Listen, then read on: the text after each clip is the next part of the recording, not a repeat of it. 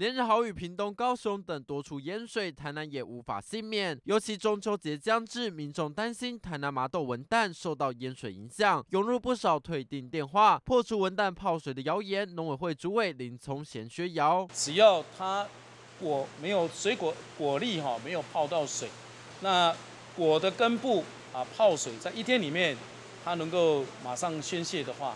那整个品质都不会影响。向民众喊话，麻豆文旦不管品质还是价格都没有受到影响。目前麻豆文旦正值产期，种植面积高达八百公顷，今年产量比去年增加，呼吁民众可以放心购买。麻豆文旦损失的并不多，而且品质并没有受影响。但是在有一些政治口水的操作下，营业农民已经受到一些影响，有有些消费者的信心在一些不负责任的这个。呃，操作下变成说麻豆好像文旦都泡到水里面。